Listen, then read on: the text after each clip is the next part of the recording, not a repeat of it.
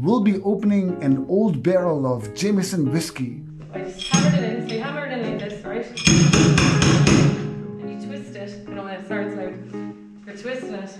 Opening a barrel of Jameson whiskey involves a process called barrel tapping. This process involves removing a small amount of whiskey from the barrel without affecting the integrity of the barrel or the whiskey inside.